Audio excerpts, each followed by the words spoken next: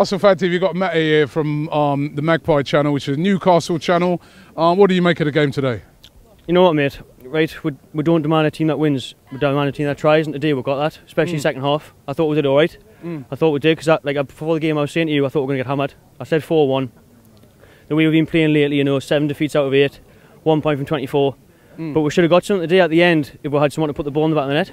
Yeah, did, did you think that you know because Arsenal basically we didn't kill the game off, did we? We had Nah, nah. we had several chances, didn't kill it off, and what, Once you had one one thing I know watching football over the years, if it's one 0 and there's about 15 minutes left, that away team will say, "Well, hold on a minute, You'll get your may chance. as well have a go now." Yeah, you, you'll get your chance, and we did. We, we lumped it up, we put two up top, and I thought, you know, I'm a big critic of Joselu, you know, Stokes fifth strike strike, that's what we're dealing with here at the club.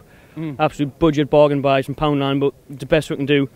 And the, the two up top, him and Gayle did well. Yeah. Good he, little he seemed to win most of the, the Aye, headers aye, knocked up to him, He was helping Gayle, and Gayle was getting in behind with his pace, but? Yeah. we just, we just couldn't put the ball in the back of the net, and that's obviously, that's why we are where we are at the minute, because we Yeah. just got no power. What do you make of Arsenal?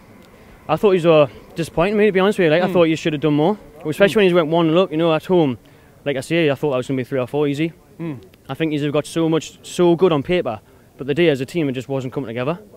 It's strange to me, like in, like the likes of Alexis and that, who don't seem to be performing for you. It's mad. Yeah, Doesn't really make sense, you know. and it, it was a great goal to win win the game. I mean, class yeah. volley from Ozil, like to be Yeah. fair to him, really good. Yeah, just before you go there, I know you've got a train to catch, but can you stay up this season? I mean, this is still a long way to go. We're not even halfway, just about halfway through. If Ashley's out, yes. If he stays, no.